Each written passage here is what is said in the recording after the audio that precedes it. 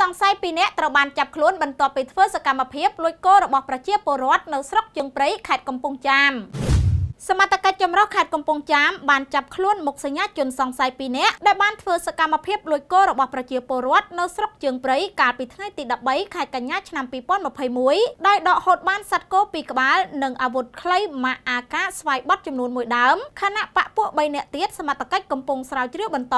សមត្ថកិច្ចបានឲ្យដឹងថាជនសង្ស័យមានឈ្មោះហឹមលឹមភេទប្រុសអាយុ42ឆ្នាំជនជាតិខ្មែររស់នៅភូមិលាវឃុំក្រវ៉ាស្រុកបារាយខេត្តកំពង់ធំនិងម្នាក់ទៀតឈ្មោះឌីសូវុនភេទប្រុសអាយុ35ឆ្នាំរស់នៅភូមិបារាយធំឃុំបារាយធំស្រុកបារាយខេត្តកំពង់ធំជនសង្ស័យទាំងពីរនាក់នេះបានធ្វើសកម្មភាពលួចយកគោរបស់ប្រជាពលរដ្ឋនៅក្នុងភូមិត្រពាំងស្លាឃុំសំពងជ័យស្រុកជើងព្រៃកាលពីថ្ងៃទី13ខែកញ្ញាឆ្នាំ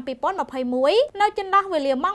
16:00នាទីរហូតទៅដល់វេលាម៉ោង4:00នាទីទៀសភ្លឺឈានចូលថ្ងៃទី14ខែកញ្ញាពេលនេះត្រូវសមត្ថកិច្ចឃាត់ខ្លួនបានហើយសមត្ថកិច្ចបន្តថាវត្ថុតាំងដែលដកហូតបានរួមមានសត្វគោឈ្មោលចំនួន2ក្បាល និងអាវុធវែងម៉ាកអាកាស្វ័យប័ត្រចំនួន1ដើមបង់ចំនួន1និងគ្រាប់ចំនួន15គ្រាប់បច្ចុប្បន្នជនសង្ស័យទាំងពីរនាក់រួមនឹងវត្ថុតាំងត្រូវបាននាំទៅអធិការដ្ឋាននគរបាលស្រុកសន្ទុកដើម្បីធ្វើការសាកសួរនិងកសាងសំណុំរឿងចាត់ការទៅតាមនីតិវិធីបើតាមការបញ្ជាក់របស់លោកវងប៊ុនវិសុទ្ធព្រះរាជអាជ្ញានៃអាយកាអមសាលាដំបងខេត្តកំពង់ចាមបានឲ្យដឹងថាជនសង្ស័យនៅមានបពពួកចំនួន3នាក់ទៀត ពេលនេះសមត្ថកិច្ចកំពុងធ្វើការស្រាវជ្រាវតាមចាប់ខ្លួនពីនាងខ្ញុំសំអូន The Time News